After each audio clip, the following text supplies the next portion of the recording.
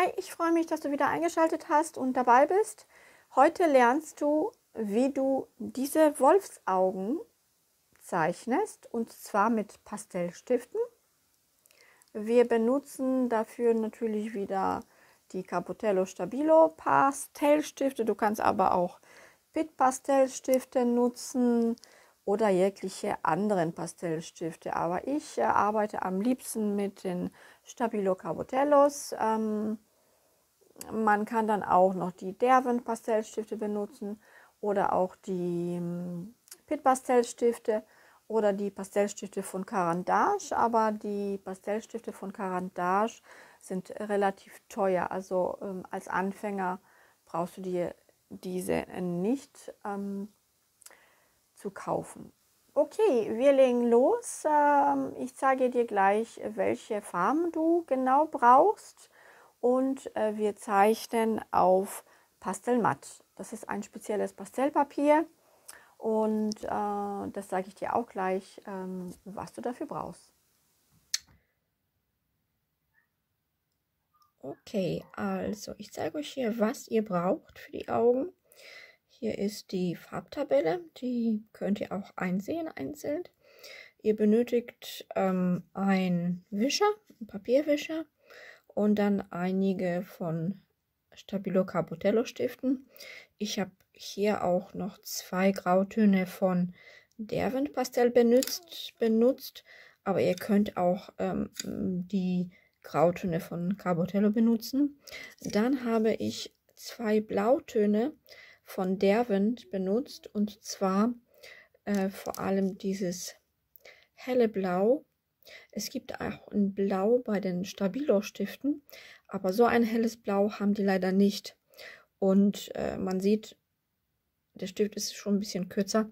Also diesen benutze ich äh, wirklich sehr oft.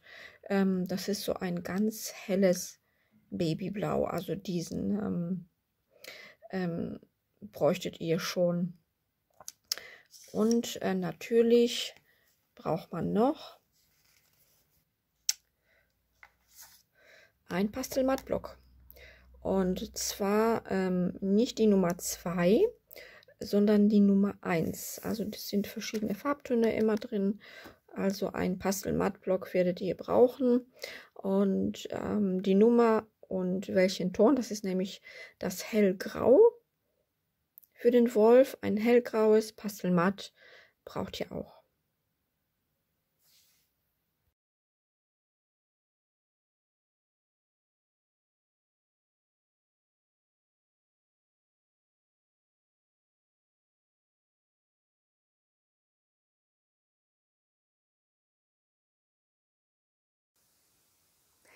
Okay, los geht's und ich wünsche dir viel Spaß beim Malen.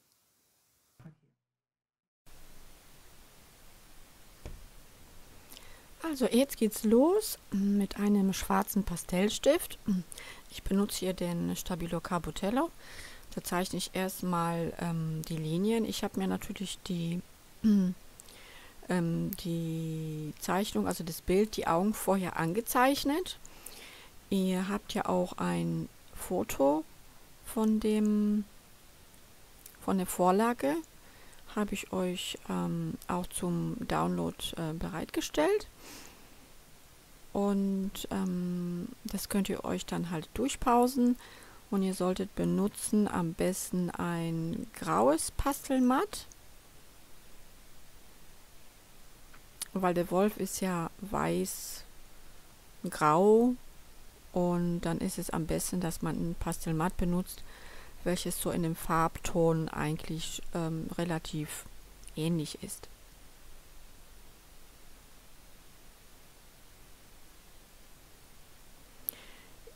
Hier male ich erstmal mit einem blauen Stift. Äh, das ist so ein mittleres Blau. Hier war das ähm, von Derwent, äh, der P320.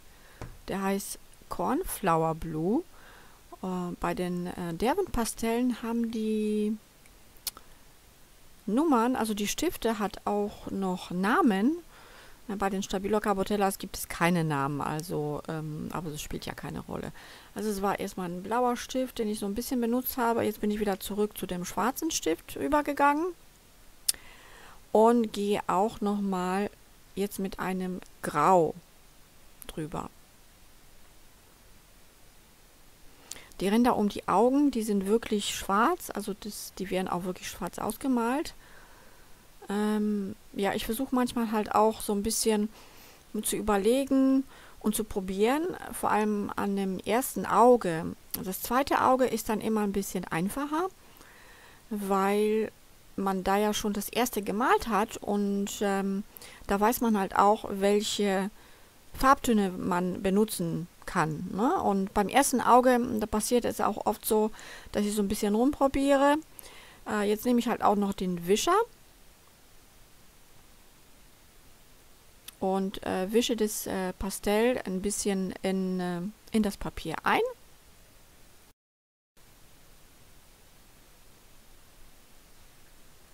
Und dann gehe ich einfach wirklich nur mm, erstmal leicht drüber bei den Konturen, aber die sind ja schwarz. So, jetzt gehe ich nochmal mit einem Blau drüber. Denn ähm, oft ist es so, äh, dass man bei allem, was irgendwo schwarz ist, ähm, dann noch irgendwo blau drin ist. Also alles, was bei Tieren in schwarz gemalt wird, da ist versteckt auch noch so ein bisschen bläuliches.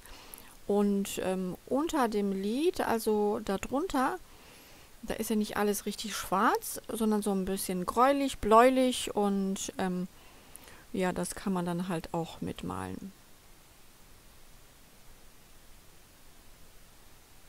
So, jetzt gehe ich mit einem Grau hier rein. Das ist der von Derwent Pastell, das Aluminium Grey P680.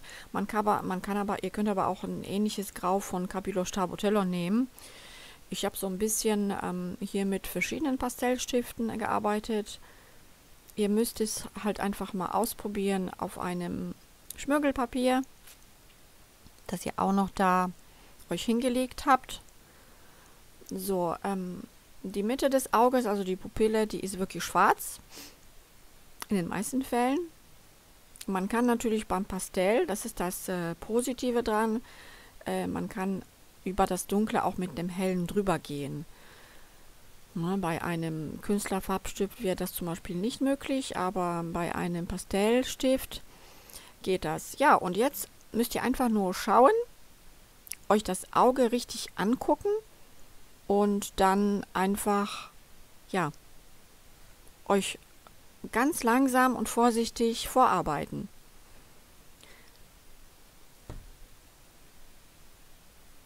So, jetzt nehme ich nochmal ein, so ein, so ein, so ein Gelb.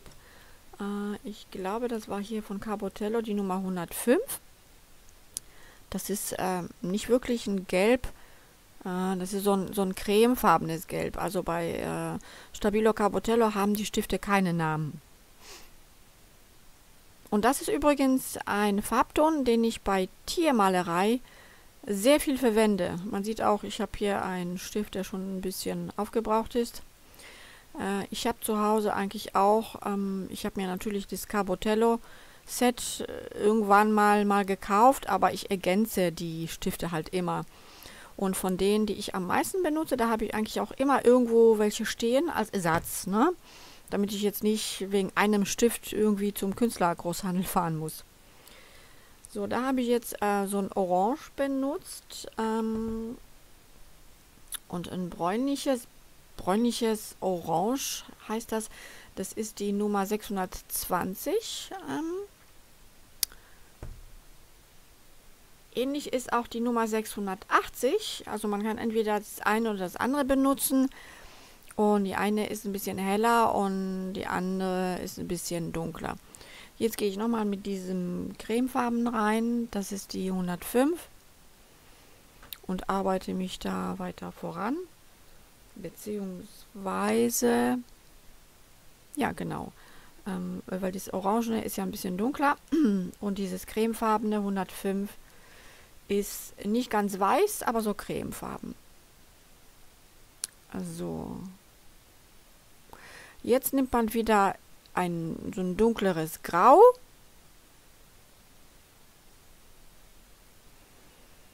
Ich habe hier auch einen von Conte benutzt. Ich wollte die mal ausprobieren. Ich habe mir da welche gekauft, zwei oder drei Stück.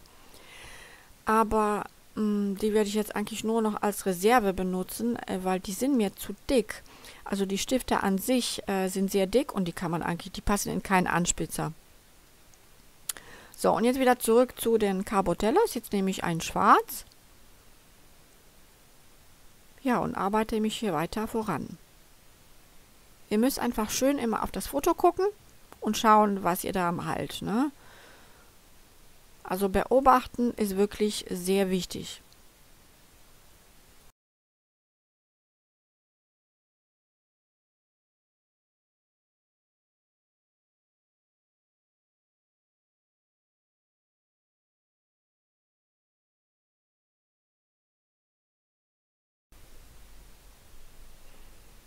So, oben immer schön weiter ausmalen.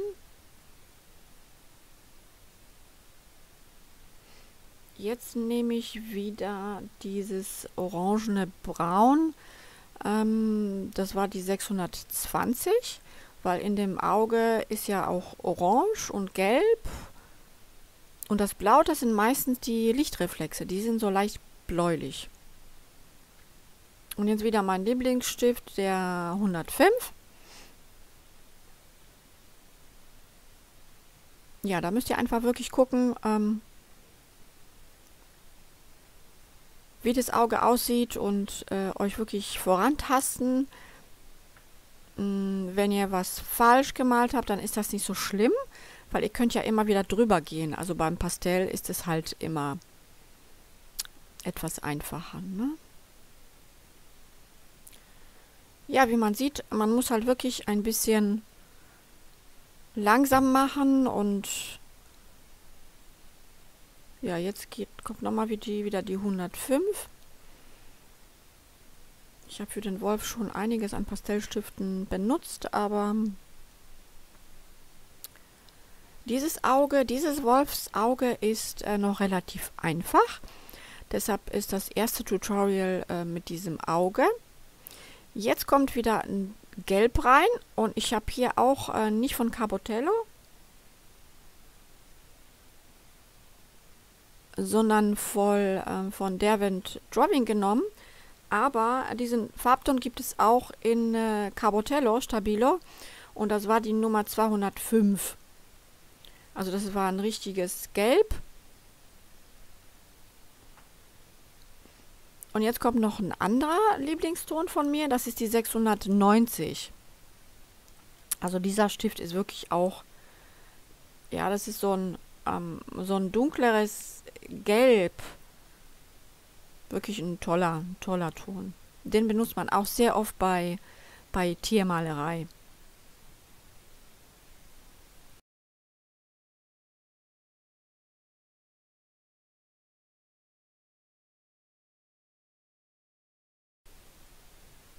Und jetzt kommt Grün.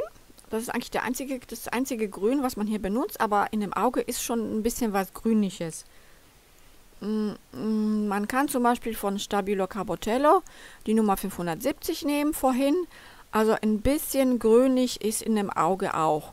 Und äh, vor allem ist es auch so, dass wir natürlich als Künstler, wir können haben auch die künstlerische Freiheit und wir können das ein bisschen intensivieren auch, was wir was wir da malen, ne? So, jetzt gehe ich nochmal mit einem, also es ist kein Schwarz, sondern ein dunkles Grau.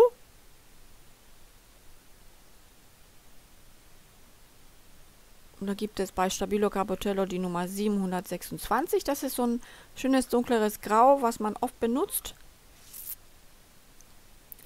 Ja, obenrum über das Auge, da sind so ein bisschen Härchen. Die muss man schon andeuten. Hm, hier nehme ich auch so ein äh, äh, dunkleres Grau, um hier unten rum auszumalen. Also ich schaue schon, ob ich jetzt irgendwo, wo es dunkel ist, da gehe ich nicht direkt mit Schwarz drüber, sondern nehme oft erstmal das Dunkelgrau. Und dann kann ich es ja noch verdunkeln. Ich kann es aber auch aufhellen, ne? das ist kein Problem.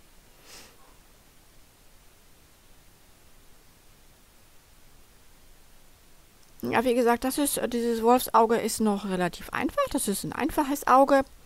Katzenaugen sind schon viel, viel, viel schwieriger, äh, weil die ja wirklich sehr bunt sind und da sind sehr viele Pastellstifte nötig. Hundeaugen sind dafür ähm, einfacher, weil die meistens irgendwie dunkelbraun sind. Okay, es gibt auch Hunderassen, die blaue Augen haben, klar. Wie der Husky und so. Wölfe haben ja ähm, meist gelbliche Augen. Ja, also ihr müsst wirklich gut aufs Foto gucken und euch ganz kleinschrittig vorarbeiten. Hier wieder so ein dunkleres Grau. Man kann das eigentlich ganz gut erkennen an den Stiften, welche Farbtöne man nutzt. Falls euch was irgendwie zu dunkel oder zu hell ist, dann nehmt ihr wieder einen anderen Stift und probiert es einfach mal ne? aus.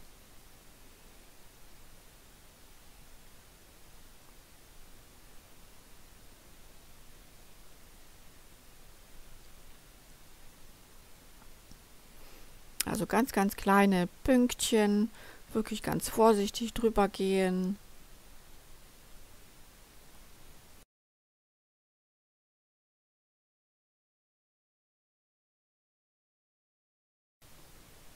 Jetzt kommt ähm, ein helles Blau zum Einsatz. Ähm, dieser helle Blauton, äh, den gibt es nur bei Derwent, bei Pit Pastel gibt es den auch und bei Carandage. Ähm, das ist Derwent, das ist so ein Babyblau.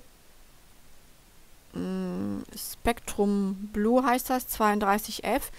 Äh, leider gibt es so einen Farbton bei Stabilo Carbotello nicht. Also da gibt es auch einen helleren Blauton, aber der ist nicht so hell. Und den ähm, braucht man auch öfters fürs Auge.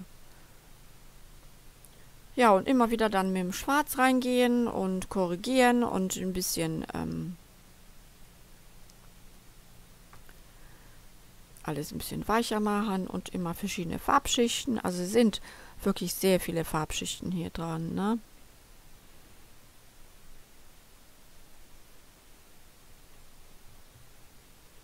Auch ähm, in dem Auge arbeitet man dann auch mit äh, mit so einer punktuellen Technik, also wie so Punkte.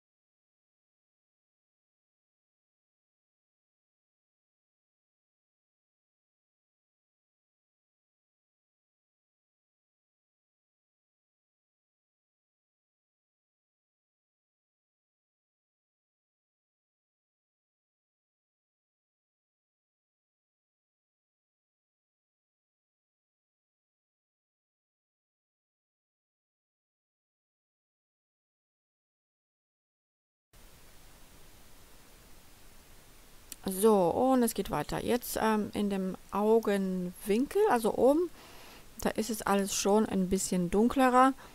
Da gehe ich entweder mit so einem Grau ein bisschen rein oder mit einem Schwarz.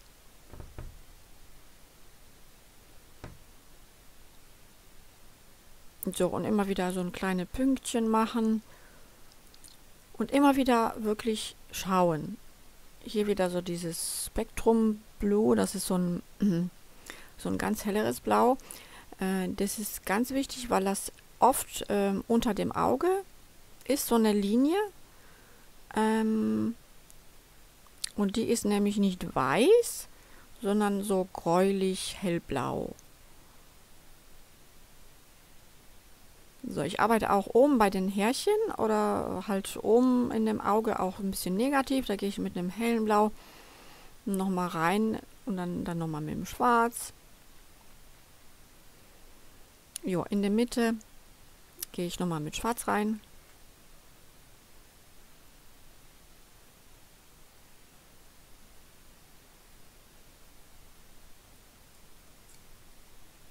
Und das ist auch wieder dieser 105. Die Nummer 105, die benutzt man relativ oft.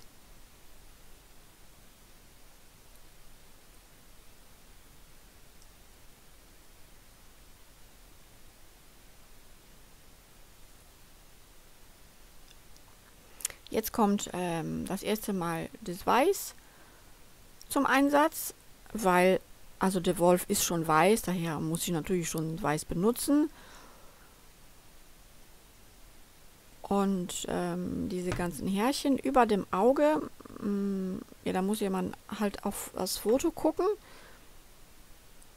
Man muss ähm, dieser Linie der, der, so wie das Fell einfach fällt, die Richtung des Fells muss man halt schon folgen.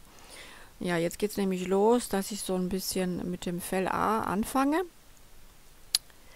Ähm, deshalb habe ich hier auch ähm, ein graues Pastelmatt gewählt, weil weißes Fell, da ist ja meist äh, gräulich drunter. Na, also man muss gucken, wie der Schatten da ist. Ähm, unter dem Auge sind auch viele kleine, dunkle, feine Härchen. Die male ich jetzt halt unter dem Auge mit dem schwarzen Pastellstift. Und in der Ecke ist es auch noch relativ schwarz, dunkel. Also das ist auch der schwarze Pastellstift. Ja, und oben über dem Auge, bei dem schwarzen, bei dem weißen, Entschuldigung, bei dem weißen Fell, dazwischen sind natürlich auch dunklere Haare, beziehungsweise ähm, alles darunter ist halt etwas dunkler. Und das ist, die, diese weißen Haare, die werfen auch so einen kleinen Schatten. Ne? Da muss man halt abwechselnd mit dunklen Pastellstiften und mit hellen Pastellstiften arbeiten.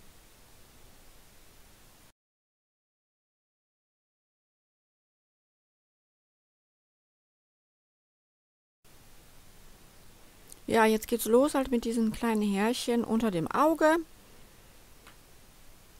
Wie gesagt, ich arbeite meistens wirklich doch relativ langsam. Man kann das alles ein bisschen schneller malen halt auch. Ähm, aber ich lasse mir da richtig Zeit.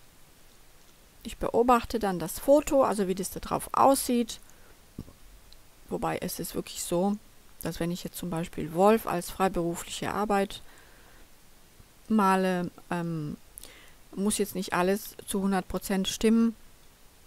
Ich kann auch mit dem Fell ein wenig ähm, künstlerischer umgehen, da vielleicht noch ein paar andere Farbtöne reinbringen. Wenn ich jetzt äh, mit äh, einem richtigen Auftrag ähm, anfange und an einem Hundeporträt arbeite, das wirklich realistisch gemalt werden soll, da stimmt natürlich alles. Ne? Und das Innere des Auges habe ich auch noch mal ein bisschen ausgemalt. Und jetzt bin ich mit einem Indigo Pastellstift hier reingegangen. Das ist das Indigo hat die Nummer 760. Also dieser Stift äh, wird oft benutzt, wenn man auch irgendwo schwarz malt. Dann nimmt man auch sehr oft noch das Indigo dazu. Weil nur schwarz ist ja eine tote Farbe sozusagen und man muss da so ein bisschen Lehm reinbringen. Ja, jetzt noch ein bisschen äh, weiß. Jetzt geht es mit den Haaren los. Und das ist dann jetzt wieder natürlich ein Geduldsspiel. Man muss sehr geduldig sein und ähm, ja. Und ganz wichtig ist, was ich natürlich vergessen habe anzusprechen, ganz wichtig ist, die, ihr müsst die Stifte anspitzen. Also die müssen schon spitz sein.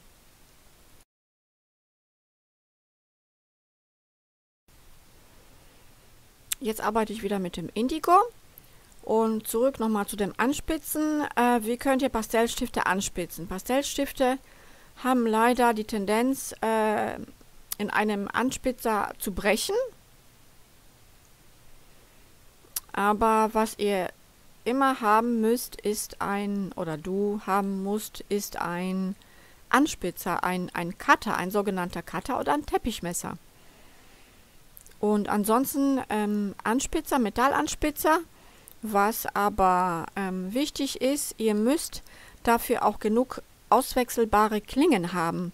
Und diese Klingen, die kann man ja wirklich abschrauben und dann wieder dran schrauben. Die gibt es im Künstlergroßhandel total günstig, drei Stück für 1 Euro. Mm, oder ihr könnt es, glaube ich, auch im Internet bestellen. Und ihr braucht halt jetzt nicht ständig einen neuen Anspitzer zu kaufen, sondern nur die Klingen. Ich werde dazu, glaube ich, noch ein Video machen, äh, frei für jeden bei YouTube. Das werde ich aber hier auch noch online stellen, wie man Pastellstifte am besten anspitzt. So, jetzt geht's weiter. Ich habe das jetzt ein bisschen vorgespult. Ähm, ihr könnt das also auch ein bisschen, ähm, die Linien auch ein bisschen schneller malen. Ne? Oder ihr könnt halt ein bisschen vorspulen jetzt, ja. Ähm, also die weißen Haare und dazwischen mit dem Indigo. Da gehe ich rein, das ist die Nummer 760. Und auch ein bisschen mit dem Schwarz, die Härchen. Also man muss darauf achten, dass die Übergänge auch wirklich fließend sind. Ne? Dass das jetzt nicht so abrupt endet, das Auge, und dann aussieht, als ob das irgendwie reingesetzt, draufgesetzt wäre. Das heißt, ich korrigiere halt immer wieder. Ne? Äh, ich wechsle hier ab zwischen dem Indigo, zwischen dem weißen Pastellstift und ähm, zwischen dem schwarzen Pastellstift und später wird auch noch ein Grau dazu kommen. Ne?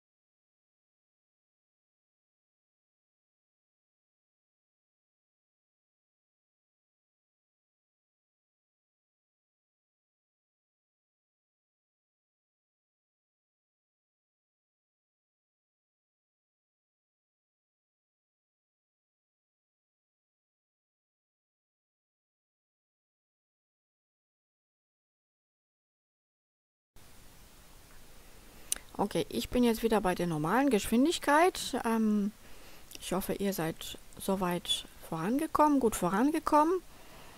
Ähm, ihr könnt jetzt sehen auf dem Vorlagenfoto, also neben dem Auge ist es ein bisschen dunkler. Das heißt, ich muss zuerst die erste Schicht etwas dunkler malen und werde dann mit, mit dem helleren Pastellstift, in diesem Fall mit dem Weiß, ähm, noch drüber malen.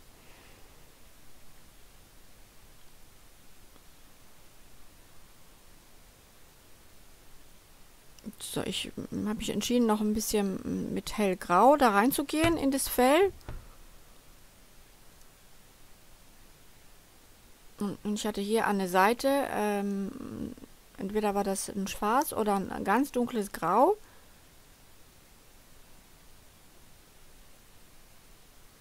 Und jetzt gehe ich nochmal mit dem hellgrau drüber.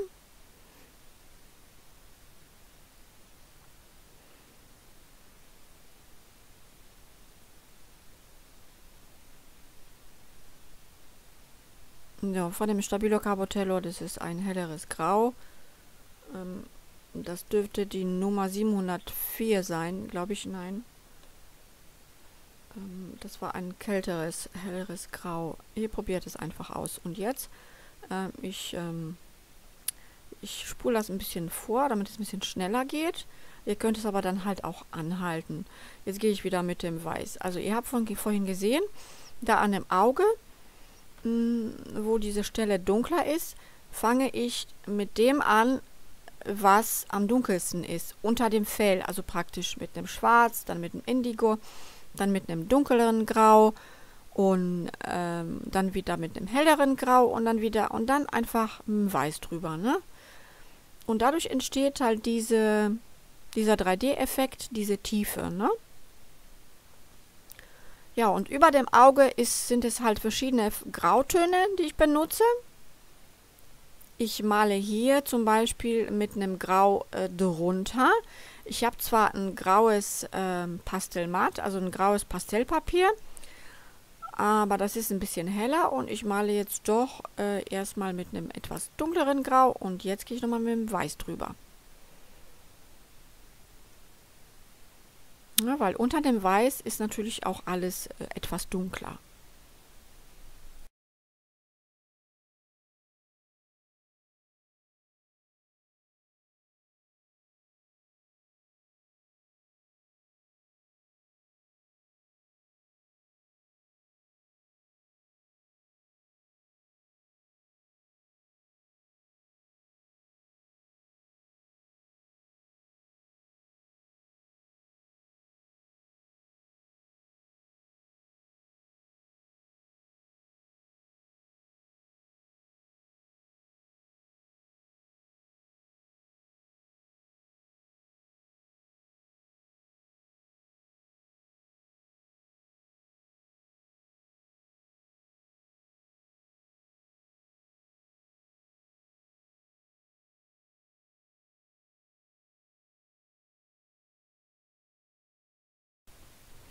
Okay, ich habe hier ein bisschen äh, vorgespult, so ein bisschen viermal schneller die Geschwindigkeit.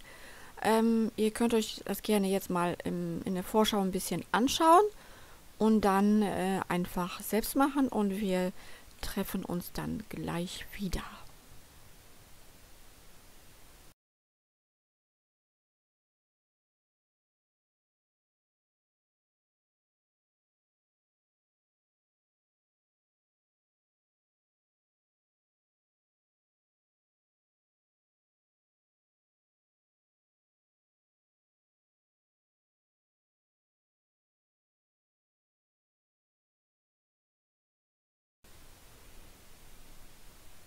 Ja, unter dem Auge, da ist auch eine Stelle, da sieht man auf dem Foto, da ist es ein bisschen äh, dunkler.